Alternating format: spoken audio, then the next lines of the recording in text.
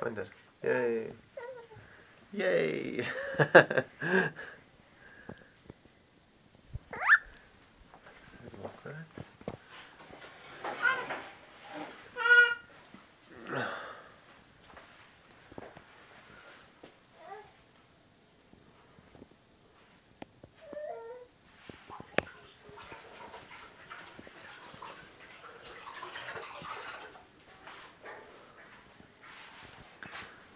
This is Rosa, our hospitalera, Hola.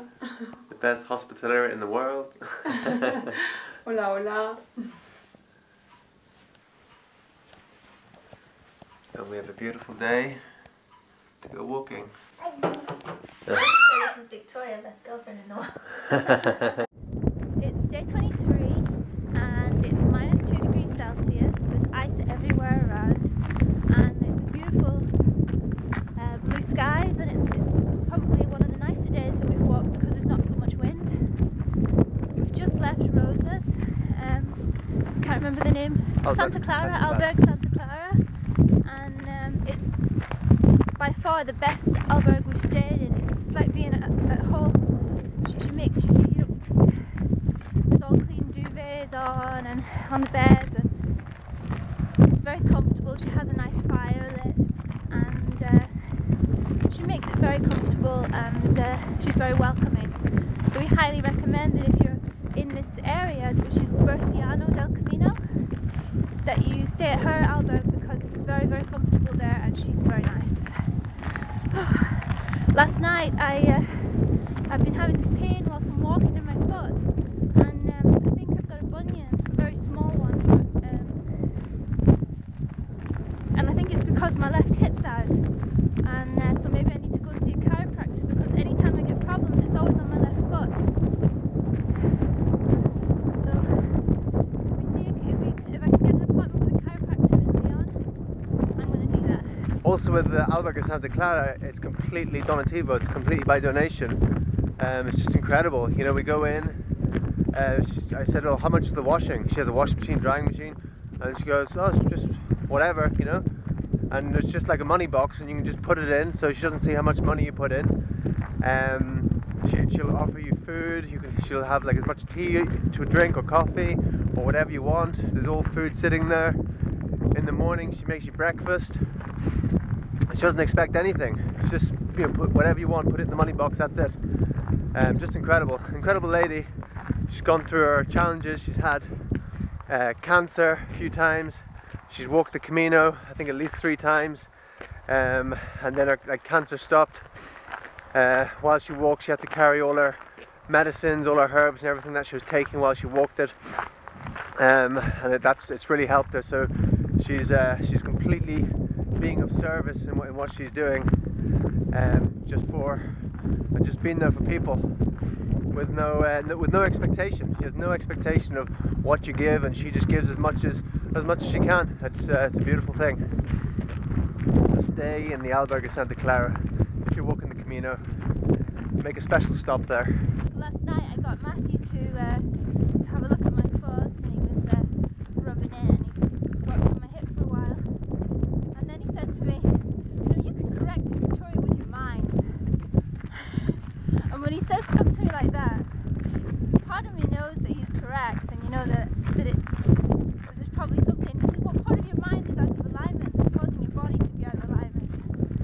And so, you know, there's one side of me and I know that, that he that, that what he's saying is true. And there's another part of me just wants to throttle him. I wonder how we could integrate those two parts. And I wonder what vibration and energy you would need to be to make that alignment happen yes, I wonder as what quickly as possible.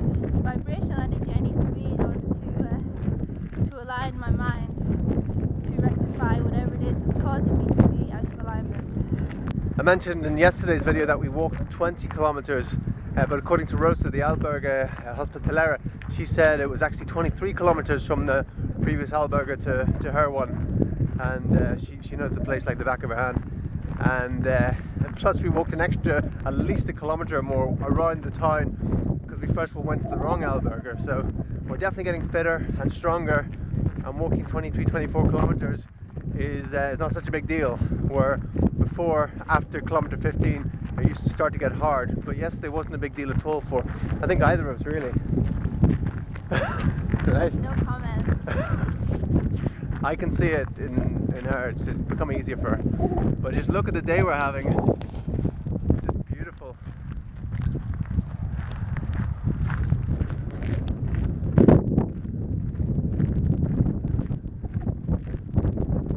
When, I when I read some blog posts by people who had done the um, who'd completed the Camino in the winter, they talked about you know weather like this and everything. And uh, didn't talk about the, some of the horrendous weather that we'd experienced. And sometimes people get that. But uh, we've gone through some serious serious weather. Um, to get a day like this is just that much more appreciative of it.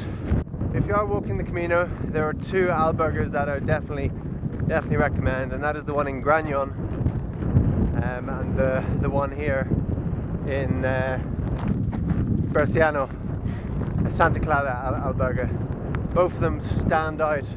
Both of them go the extra mile in, in different ways and it just makes such a difference. Just that that attitude that attitude of going the extra mile. Um, it's, it's just it's so much more appreciative when people do that and it just makes such a difference to to the person when they, when they do that to their lives and something we endeavour to do to the best of our ability and so then when we see it in others it's, it's an awesome thing. Oh. Hello kitty cats. You enjoying the morning sun? Yes we are. Little kittens enjoying the morning sun. Lovely isn't it? Lovely to get a bit of sun. This is the first village we're entering and we're just seeing if we can maybe get a cup of something here a cup of tea or something.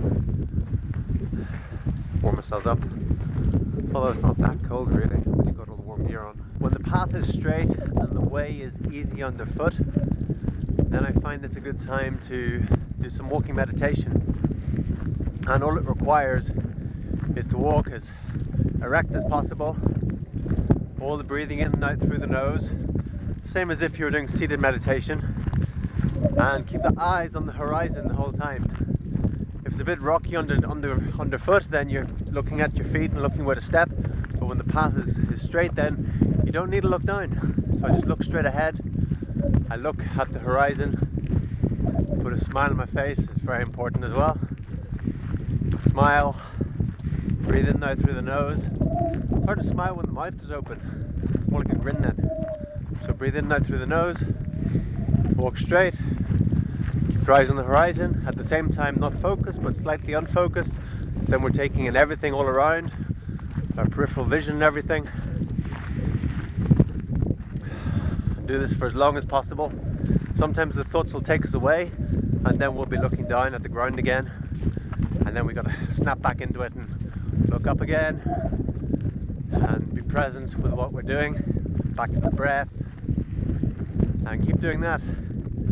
And that's the in my experience the best antidote to depression or feeling down or feeling sad or anything. Is just just to do that. Remember the smile breathing deep keeping the eyes on the horizon. Every time you notice the eyes drop lift them back up again awesome feeling hey.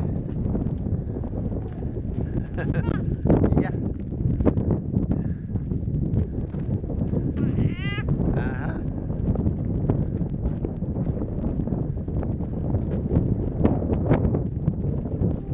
Yeah. That's what I think I have to say. What does Mama have to say? Let's get there. I thought we were enjoying the journey, darling. Yeah, we're enjoying the journey. And let's get there. Yeah. Yeah.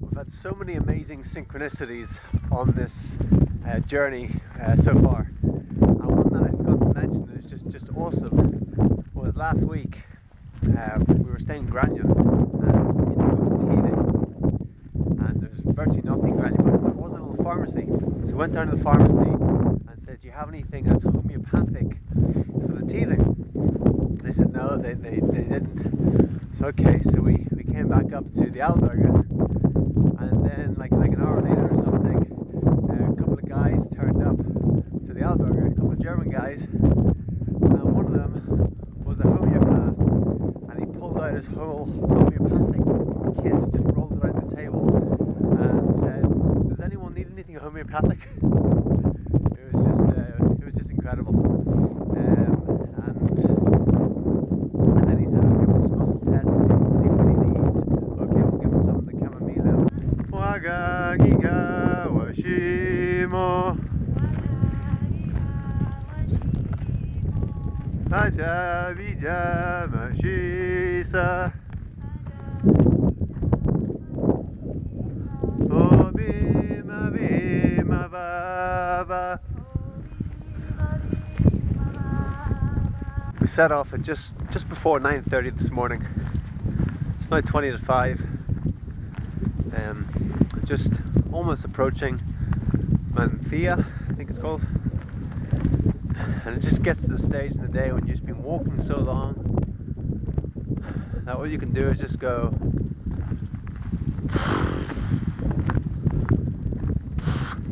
I can't even do it now. My lips are cold. no, it's gone. But this happens to me after about eight hours of walking. I just completely relax. Know, everything, my whole body relaxes. My body's just walking by itself. And I just feel my face just completely relax. And then I start going. yeah, like that. We're just one kilometer out of Mansilla now.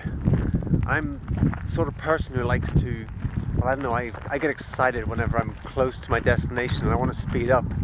So my um, my feeling is to speed up and get there um, get there soon.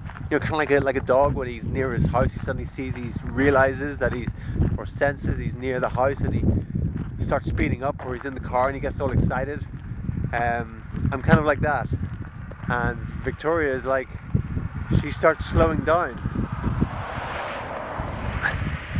we get near the destination, she starts slowing down, slowing down. And I'm like, well, I want to speed up, and she starts slowing down and going slower. Maybe it's because we've walked for a long time and she's tired. Um, so it's uh, this whole Camino has been an exercise in patience for me in so many ways. Whether it's getting up in the morning and getting together to go out the door, or when we're walking, or you know when we make a stop and we're getting ourselves together. I, I just move at a different pace, doing everything and uh, so uh, just learning the patience and being patient. I notice some people they get up in the morning and uh, they're very efficient and they've got all their stuff together and they boom boom boom they're out the door in five minutes on the Camino before the sun rises. And if I was doing it by myself, I'd kind of be, be the same as that. Um, but but I'm not. I'm here with Victoria and Indigo, and I love it. And I'm getting so many more uh, learnings and development through doing it with the family. And uh, patience is a huge one for me right now. It's just being patient and patient. And that comes with being the servant again, as keeps on coming up for me, which is vital.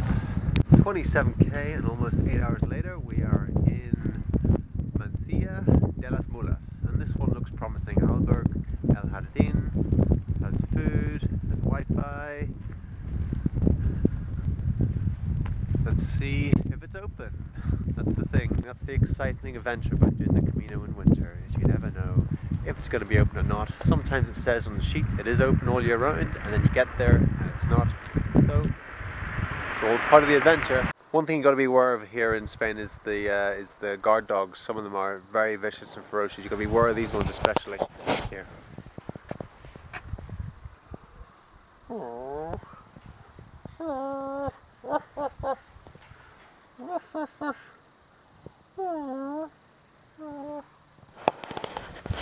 Honestly, they're barking their heads off at me just there. Then I turn the camera on, put it on them, and I'm just like, oh, what's that? One thing that hits me walking into Mansilla here is the smell. Um, it's kind of like an industrial sort of town. It doesn't look very pretty or anything. um, and it smells like sulfur or something, some something coming from a factory. Not very nice.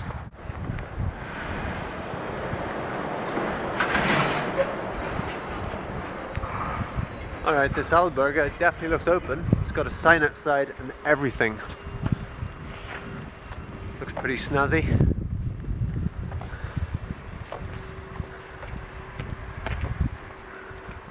What's this? Cool. Well done, darling. You just walked 27 kilometers. Yay. Yay. Well done. Well done, little water dragon.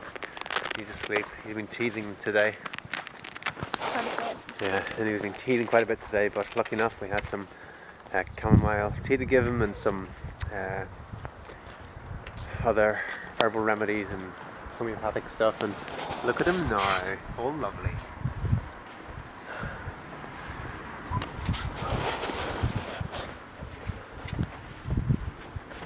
Uh-huh. Oh yeah. Oh dear. We're a bus. Indigo. We're on a bus. This is such an exciting adventure, isn't it? What an exciting adventure we're on. Wow. Wow. Alright, so we got into the the Alberger there and it was actually a meatery as well as an Alberg and it just smelled of meat and as vegans we just We couldn't stay there. couldn't stay there. Um, and uh, just didn't get a good, really good feeling about Man- Mansilla. I don't want to say it too loud in case there's any locals on, on the bus. Um, but we're right on the on the outskirts of Leon, and uh, a guy said to us the other night in the Alberg. He says, you know, once you get to uh, once you get here, you're right in the outskirts. Get a local bus into Leon because it's uh, it's it's a it's a horrible walk in. Um, it's very dangerous with the roads and everything. It's not really cut out for uh, pilgrims walking, and uh, and uh, so what we decided when we got here, we thought, okay, well instead of waiting till the morning to get the local bus in, um, let's just get the bus in now, and then we can have a night in in Leon, and then the whole day tomorrow in Leon, and then that can be like our kind of like our day off, and then we start again the the day after that. Yeah. Yeah. How do you feel about that? I think it's fantastic. How do you feel, Indigo? wow. We've worked really hard this last week. we worked, what, 20, we did 26k today? 27k today. 70k today? Uh, this week, just we walked into the wind for at least seven days straight, walking onto a head-on wind, off freezing, uh, wet, stormy weather, through bogs, through mud. Man, it's been a it's been a really tough week up there. Uh, so we're looking forward to a day, day off tomorrow in Leon. Why not?